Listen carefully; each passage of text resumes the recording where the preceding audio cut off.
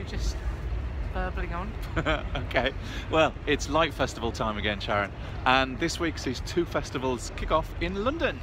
Uh, Lumiere is on in central London this week for its second outing, and Winter Lights is back at Canary Wharf.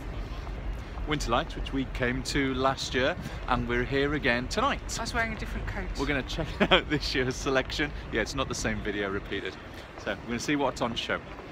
Um, Winter Lights is free and it runs from 16th Jan to the 27th of Jan. It's on till 10pm every night, so plenty of time for you to come and visit once you've seen this video. Yep.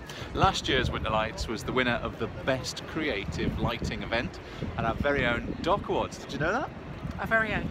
Our We're with. Mondo. Yeah, okay then. Uh, Winter Lights has got 33 pieces of light art on show, spread out around Canary Wharf um, in different places.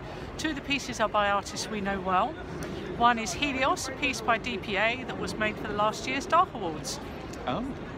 And the other is Polaris by Laurent Fort. He was one of the artists who was at Play of Brilliance exhibition in Paris. That was ours. That was ours.